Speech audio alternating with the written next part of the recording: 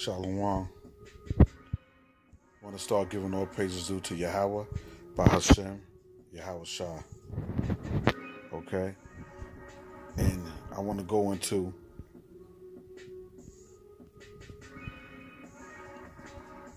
the um I want to go into the history of teens here it is that um I'll show you later teens 10 guilty convicts reacting to their sentences.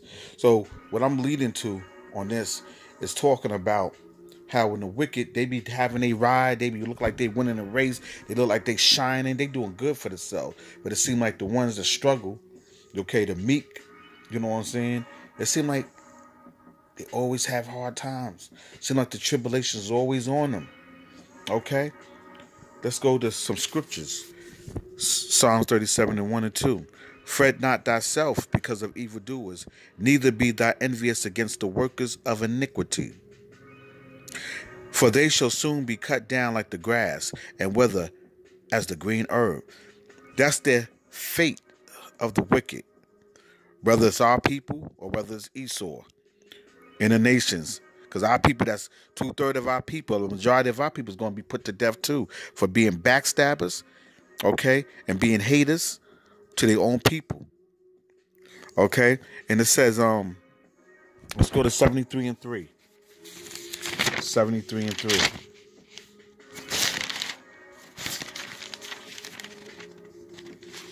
And it says, For I was envious at the foolish when I saw the prosperity of the wicked. See that?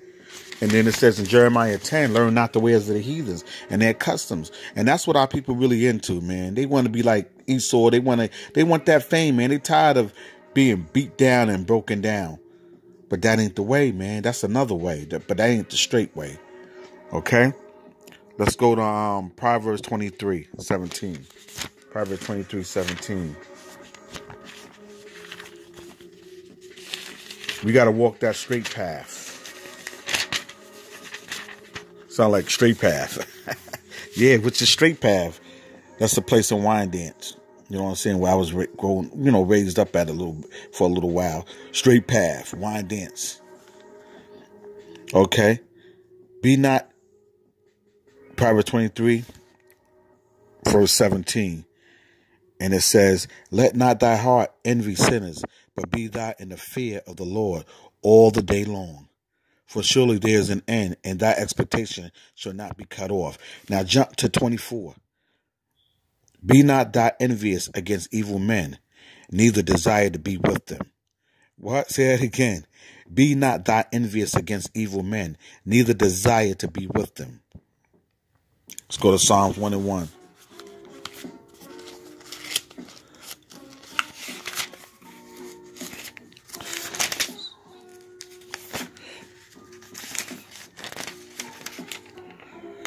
Blessed is the man that walk not in the counsel of the ungodly, nor stand in the way of sinners, nor sit in the seat of the scornful.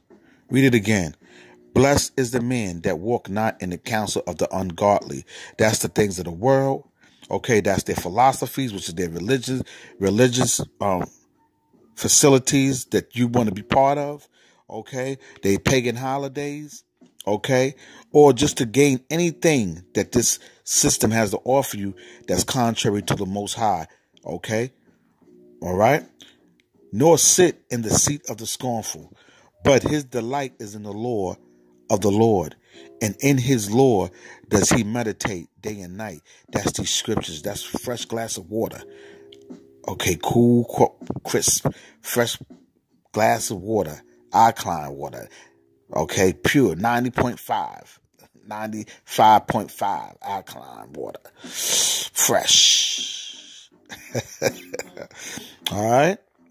Now let's go to Proverbs 4 and 14. Proverbs 4 and 14.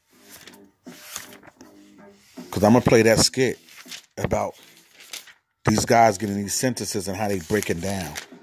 Proverbs 4 and 14. Enter not into the path of the wicked, and go not in the way of evil men. Avoid it, pass not by it, turn from it, and pass away. For they sleep not except they have done mischief, and their sleep is taken away unless they cause some to fall. Remember that. And that's how the system is set up for us. The system is not set up for us to really be successful. Okay? Now, you may have some coon ass niggas and say, well, if you go to school, you can do it. Okay, you do this, you do that. You can be successful, but you got to work 20 times harder than the next man. You got to 20 times harder than the average white man, um, called white privileges. Then the nations, even the nations come over here and get ahead of you. You never thought about that? I guess all so-called Native Americans, so-called African Americans, okay, Allen scattered abroad, greetings, okay, they don't want to be successful, do they? Or they maybe not smart enough. That's a lie. So just keep doing what you got to do, staying on the straight gate, because the broad way is the path to destruction. Now you're gonna see how these guys break down and they cry. Okay. I'm gonna give you a little bit of it.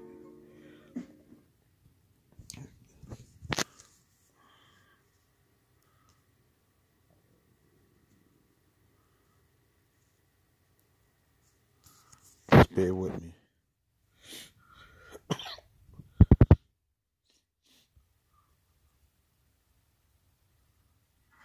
Look at it.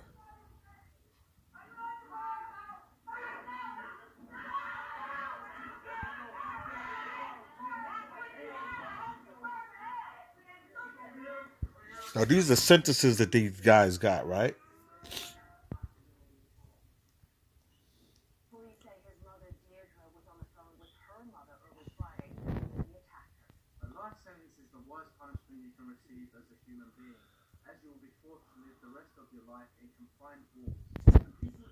And these sentences, these people did some brutal, brutal things. But you ever thought about when they did it? They didn't care about it. They didn't think about it. They was on the top. Some of them, some horrific crimes. All right. Oh, I made a mistake and hit the button.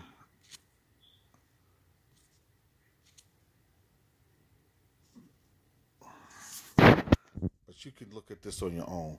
10 guilty convicts react, reacting to life sentences. So I use this as the state to say, what do you think is going to happen to the wicked when I say fret not? They're going to get theirs. And their ending is a bad, terrible result. You don't want that. Okay? But here's the kicker. What about the ones that's leading the flock of the circumcision? Taking young men money, not showing them how to um, fend for themselves, okay? Because in this world, you still need a skill for these scriptures. Okay, you still need sorry, Salakia. You still need a skill to survive. You have to work. You can't just preach the, the gospel and, and, and don't have no job. Okay?